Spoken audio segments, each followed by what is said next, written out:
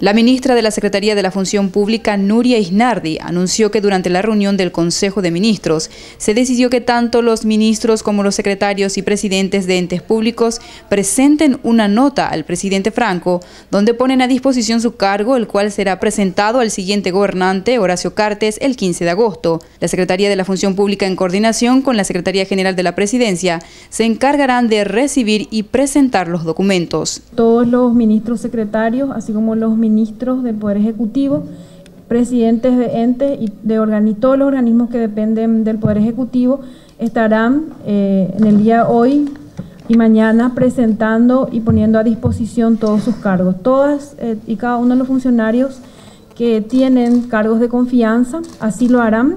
El presidente de la República aceptará la puesta a disposición de esos cargos. Eh, a fin de que el nuevo presidente eh, tenga em, en consideración todos los cargos para que pueda disponer de ellos a través de los nuevos decretos de nombramientos. Hay 75 presidentes de entes y organismos del Estado, eh, todos los eh, ministros y todos los ministros secretarios, que son los cargos de confianza. Con imágenes de Sergio Ucedo informó para BCTV Verónica Burgos.